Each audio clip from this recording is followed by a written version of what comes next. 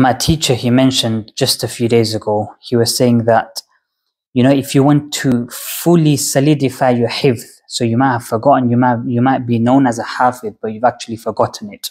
And I get this question many times as well. And my teacher was saying that, and he's the head of Qira'at in the faculty of Quran, so he's, you know, he's, he knows what he's talking about. He said, you can't be reading a hizb or quarter juz, half juz, or even one juz if you're serious about solidifying your hifz. So not just making it a bit better, you know, half-hearted, that kind of stuff. That's not going to get you anywhere. You know, if you if you seriously want to strengthen your hifz, you have to be firm and consistent on five juz a day. And I've seen this in my own life. When I used to read five juz a day about 10, 11 years ago, my hifz, alhamdulillah, till today is still very strong. There's been times years that went by when I didn't even do one khatam in the year. And alhamdulillah, because of that lengthened period of time, we're talking about six months to a year, you need to read five juz a day continuously.